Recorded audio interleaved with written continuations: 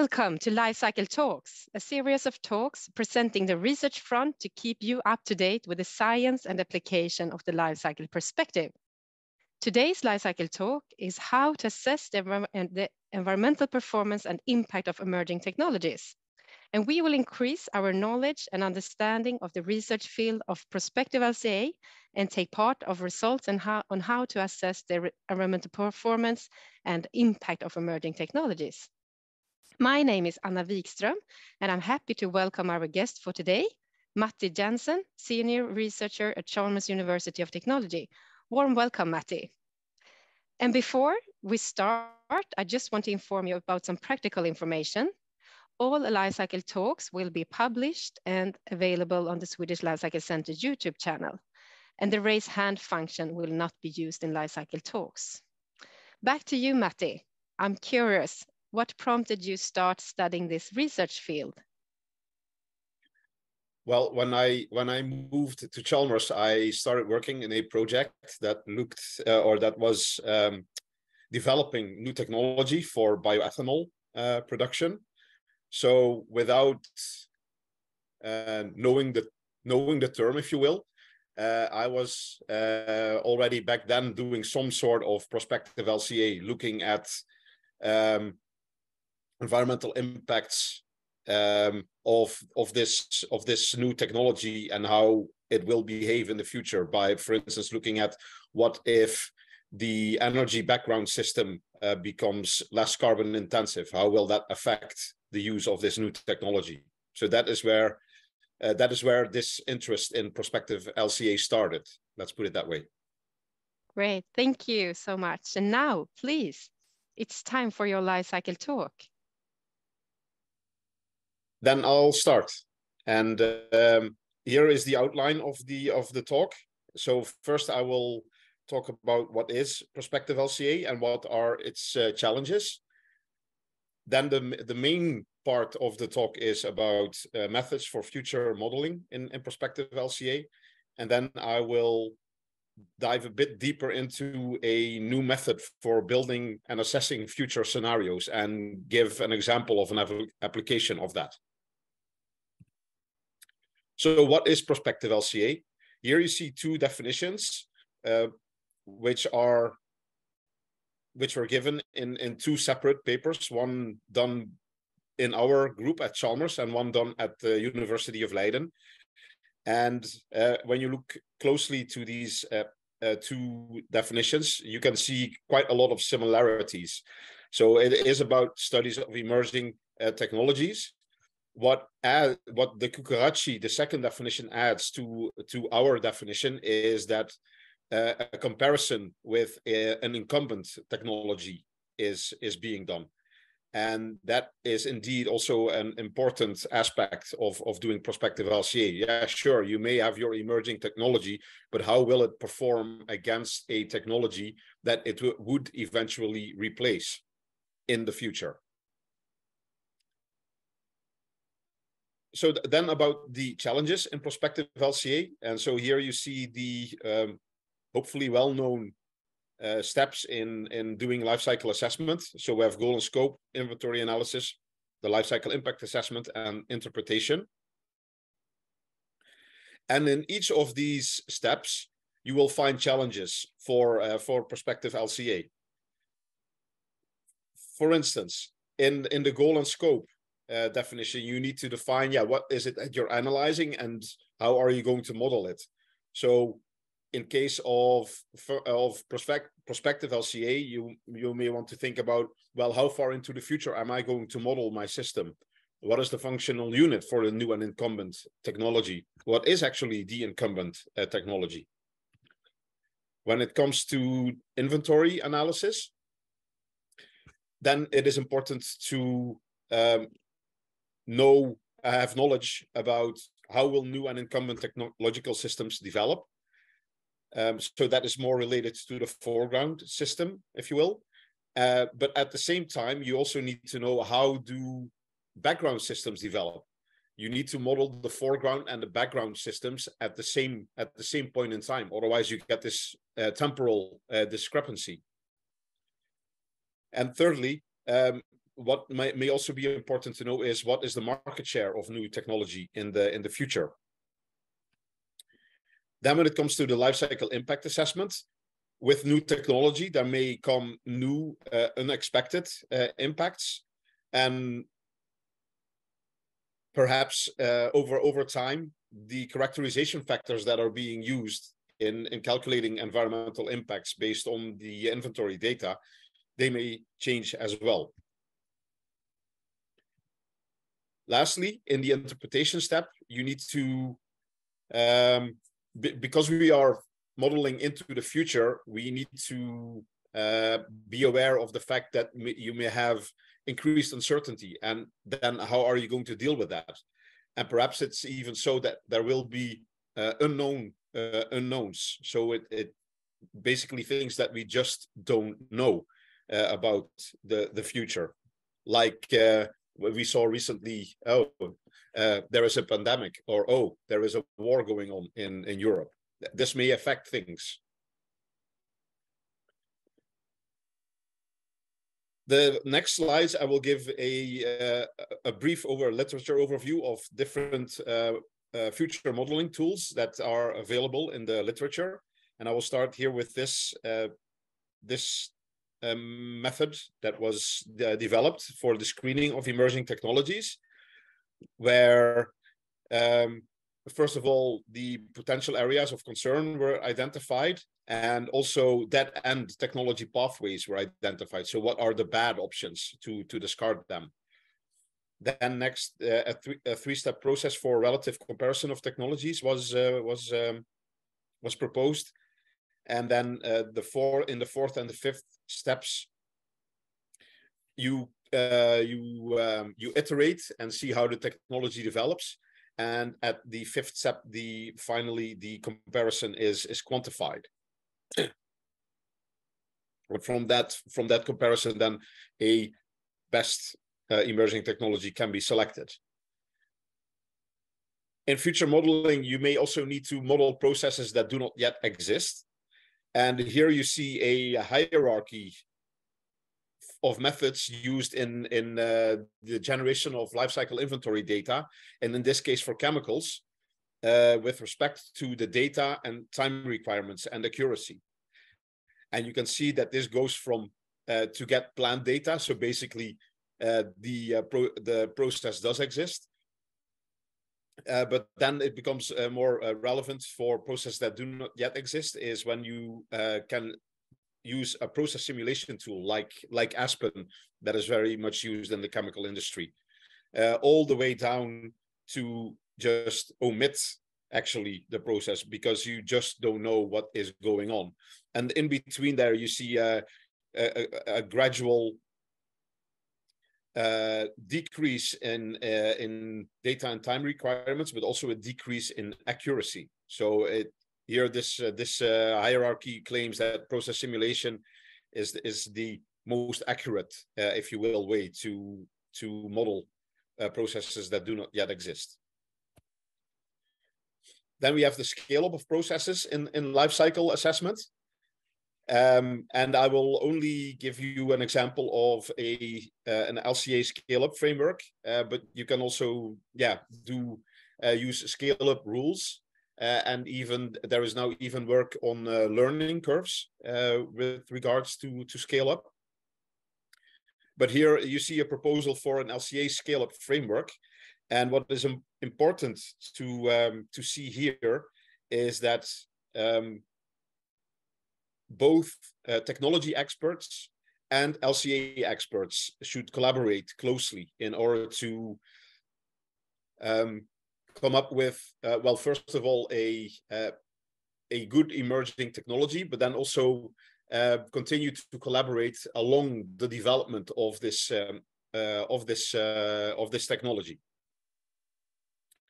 So technology experts should be involved and uh, technology scenario development should be reported by them then LCA experts define a full flow chart for doing the life cycle assessment and report on how these technology scenarios have been translated into a uh, LCA modeling um, uh, or a the an LCA model of the of the process system or product system.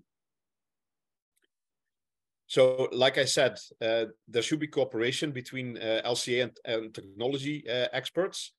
And also here, as part of this uh, framework, different methods for data estimation, as we saw in the previous slide, uh, should be um, uh, is, is proposed, going again from process simulation to stoichiometric calculations.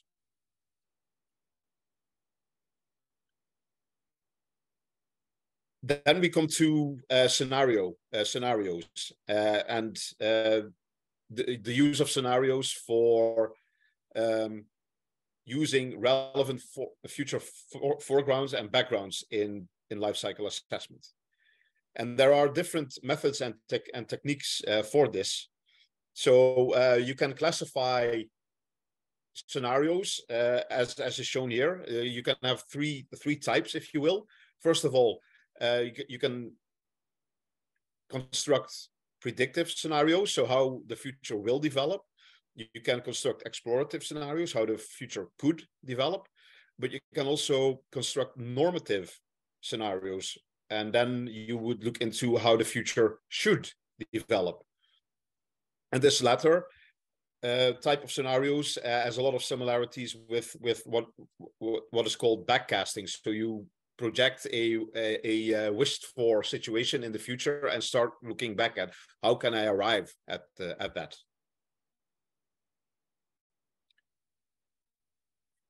Now, the use of uh, scenarios in uh, in LCA is not something new. Uh, already in 2004, a report was um, uh, was published by a SETAC Europe LCA working group, who gave recommendations for scenario development in in life cycle assessment. And here you see uh, the definition of um, scenarios in from that report. So it's it states that it is a description of a possible future situation relevant for specific LCA applications based on specific assumptions about the future, and when relevant, also including the presentation of the development from the present to the future. Uh, so yeah, uh, scenarios have been around in, in life cycle assessment, but uh, arguably it become they become more important when doing prospective LCA because from this point, uh, from the current point in time, we look into the future again. Um, however, there are challenges of using explorative or normative scenarios in LCA, and uh, one is that uh, there is a positive positivist sorry positivist tradition and uh, in in LCA and a, and a reliance on measured data. And there is this inherent uncertainty of the future that needs to be uh, needs to be dealt with. So in general, the methodological steps for scenario development are that you generate uh, and collect ideas, uh, knowledge and views in the generation step, then followed by the integration step. You model uh, the modeling includes a number of different techniques for integrating parts into wholes. And then lastly, a consistency check is uh, done to uh, ensure this consistency between or within uh, scenarios. So here you see this uh, new scenario development method that we, uh, um, together with colleagues in the project, have have developed. And um, it consists of well mainly four steps with one optional step first of all there is the scenario field uh, identification which is very much in line with the goal and scope definition in, in LCA. So what is it that you're analyzing and how are you going to do it? And then the, the following three steps, the key factor identification, the key factor analysis, and the scenario generation are very much a part of the inventory analysis of um, of LCA. I, I do not have time now to go deeply into each of, uh, of the steps that are de depicted here, but I refer to the uh, publication that is that is on its way, uh, where you uh, in in hopefully uh, two months' time you can read all the details about the the proposed uh, method.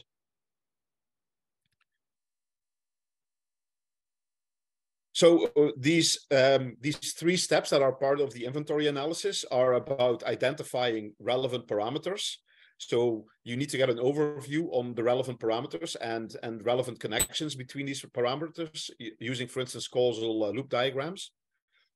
Um, you need to combine assumptions into future scenarios about these uh, parameters. And then these can then be quantified for inventory parameters that are really used in the LCA model, but can also be qualitative or descriptive for external parameters that are not used in the LCA model itself. So this could, for instance, be the, the GDP or the, the uh, general global uh, economic situation. Lastly, um, you need to combine these assumptions into future scenarios and uh, an appropriate selection of consistent scenarios needs to be made. Now, this was all done in a uh, paper that was uh, published earlier this year, uh, done by one of our PhD students uh, at, uh, at our division. And this was a prospective LCA of carbon fiber composites.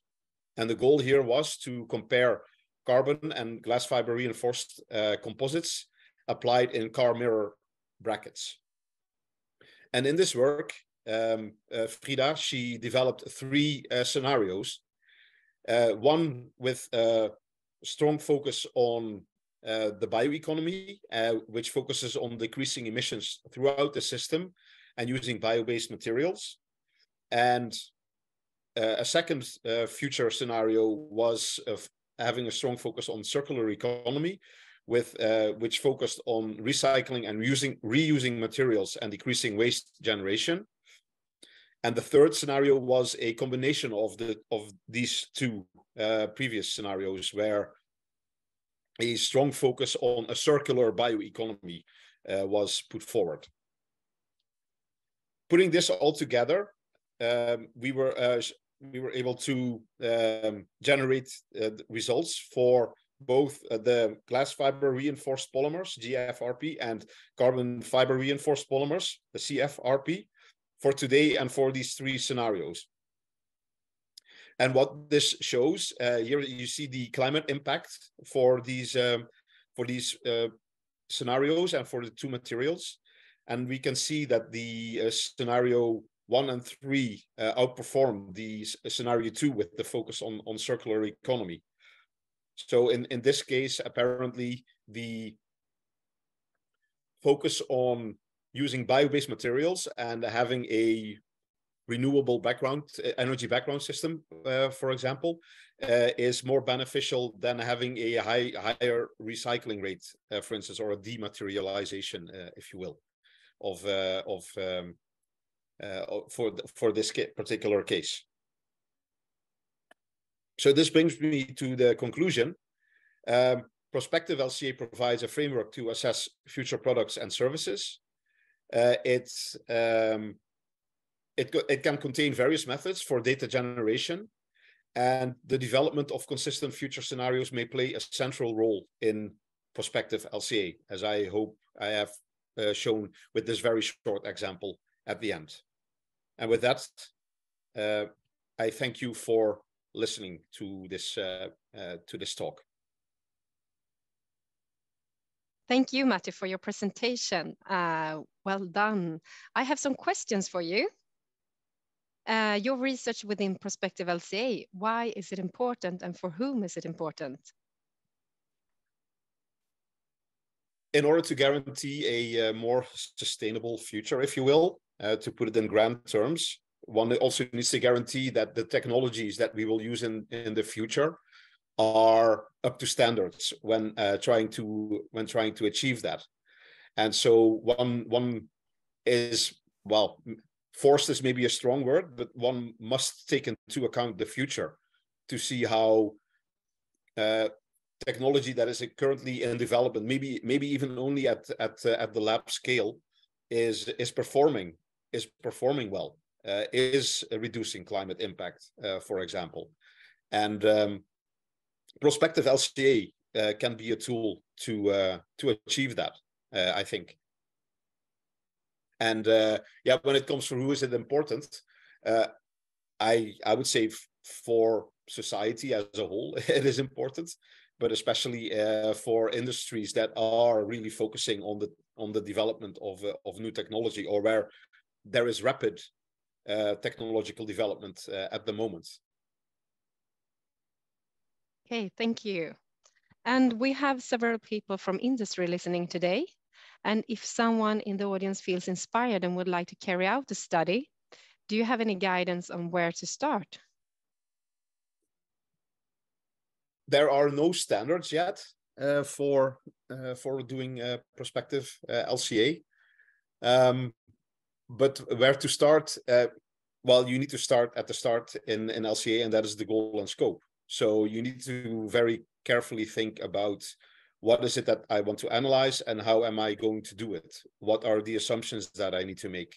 Uh, how can I, uh, what, uh, how do I want to explore how my um, technology will perform in the future? Is it using a, a predictive scenario or is it using a um, uh, an explorative exploratory scenario or is it a normative type of scenario that you that you want to that you want to um, that you want to use? Um, so in in in a, in a sense it is um, very much the same. I would i would think as doing a conventional if you will life cycle assessment with the complication that you need to start looking for future data or generating uh, future data. And as I hope I have uh, I have shown, there are several ways uh, to do that.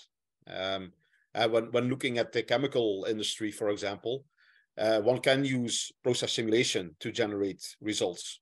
and if if that is very difficult because one does not know yet how the process will exactly look like, then even um, doing calculations based on stoichiometry uh, related to chemical uh, reactions may at least give a an idea about the environmental impact of a certain chemical uh, process in this case. Okay, thank you. Uh, I will continue with next question. Uh, what research within prospective LCA do you think uh, could be valuable to carry out onwards? I think the uh, further development of um, scenario methods uh, would be would be very useful. Uh, also, um, the, the the way to to implement this um, software wise, so that it becomes easier for um, uh, for practitioners to use a prospective LCA, uh, still requires further uh, further development and there is heavy heavy development uh, ongoing. Uh, for instance, um, using data from these large integrated assessment models uh, to use those in creating new future background systems that are also part uh, of of doing a thorough prospective LCA. Um, I already mentioned standards, so perhaps there could be, um, although, yeah, whether or not that is research, uh, I, I, I will not start discussing that. Um, there should be development of, of standards. I I, I think uh, to to help industry uh, forward in in using uh, prospective LCA. Um, what else could there be? Um, uh, impact assessment uh, methods. Um, how do we deal with unknown impacts uh, or new impacts? So there, uh, uh, it it would be a part of such a prospective LCA, but there is also continued uh, development of of uh, impact assessment impact assessment methods.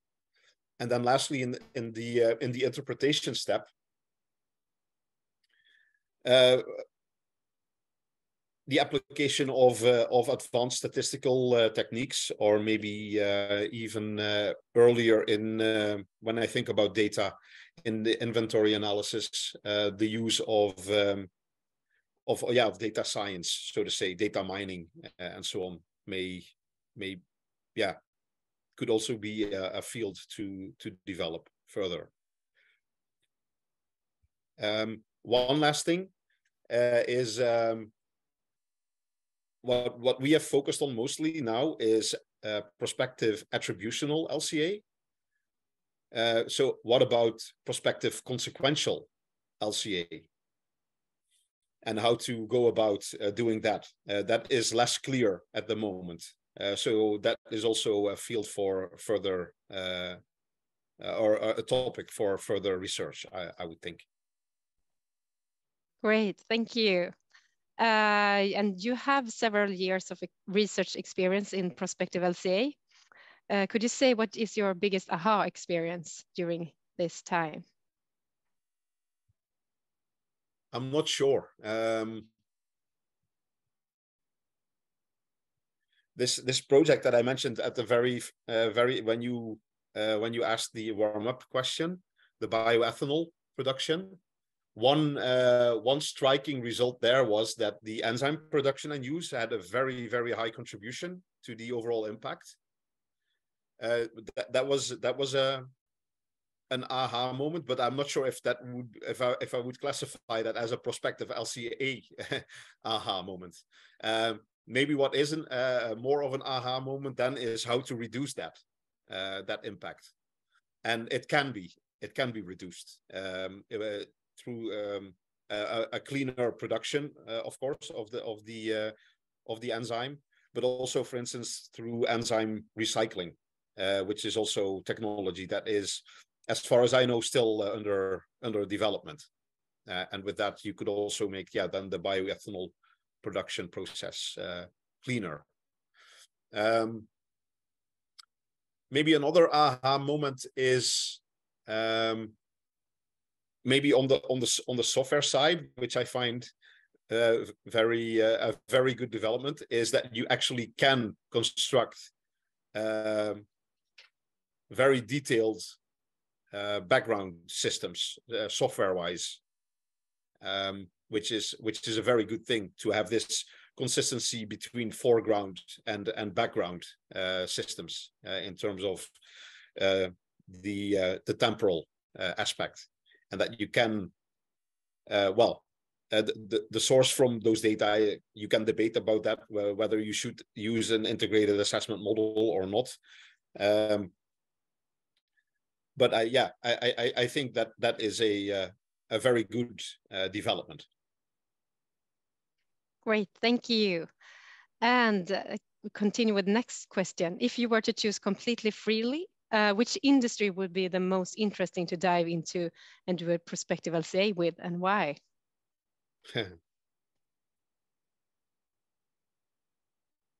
um, I'm I'm a chemical engineer by training, so I'm I'm leaning towards the chemicals industry, but uh, which has a large footprint. Uh, uh, um, it, it, does does contribute to uh, to several uh, environmental problems, but maybe a bit um, maybe a bit closer to to home and also what what we see and at uh, at Chalmers in terms of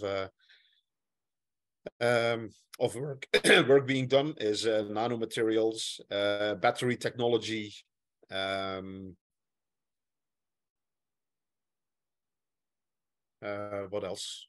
Yeah, that, let's keep it at that. It's it's such a broad question. It's a bit difficult yes. to answer. I think. That's okay. yeah. Yes. Uh, thank you so much, Matty Janssen, Senior Researcher at Chalmers University of Technology. Uh, we are closing this life cycle talks. And if you're interested to learn more about the field of prospective LCA, uh, you will find more information at these links. And here are two projects that we're showing right now.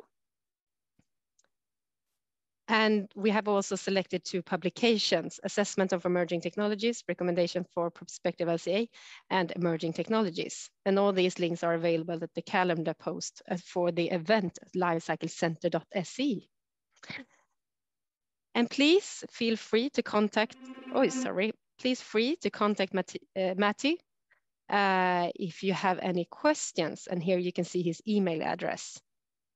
The Lifecycle talks are published by the Innovation Cluster for the Lifecycle Perspective and Swedish Lifecycle Center. And next talk will be giving during spring on negative emissions with Cecilia Sundberg at SLU. And to ensure you don't miss this, follow us at LinkedIn and subscribe to our newsletter. thanks for listening and thank you again, Matty.